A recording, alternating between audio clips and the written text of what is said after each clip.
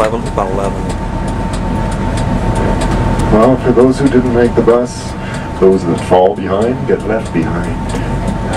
That's from Pirates of the Caribbean.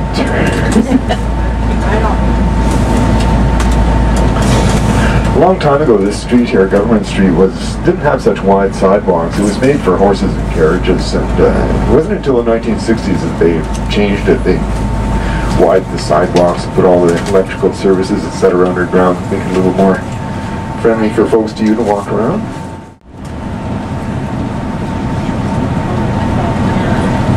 This is Yates Street. The fellow who this street is named after came here in the early days. In the late 1800s, it was the second largest population of Chinese in North America, San Francisco having more. The first Chinese that came to Victoria actually came from San Francisco. They'd been gold miners. Swan Lake is a nature reserve, reserve in there. Nice trail around it. There's some allotment gardens on the left there. They're sort of like uh, the victory gardens they have in Great Britain when they have rationing out during and after World War II. You can, if you live in Saanich, you can rent one of those. Probably a waiting list for it. They're not expensive to rent,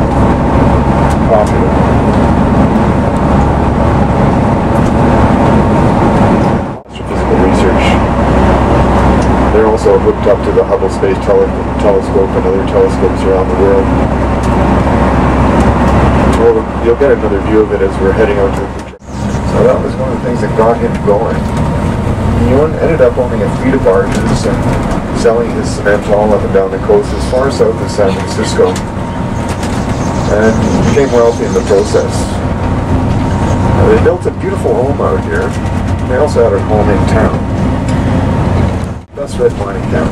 So they turned it all around. They will land in the Okanagan Valley where they produce grapes. That's, that's red mining town. So they turned it all around. They will land in the Okanagan Valley where they produce grapes.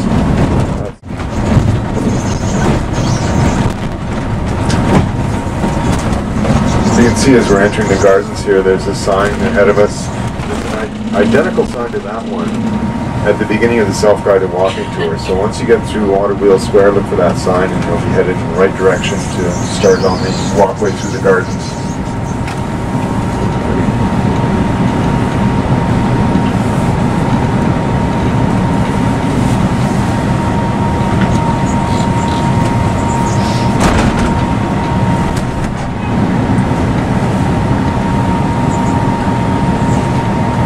Uh, I'm just going to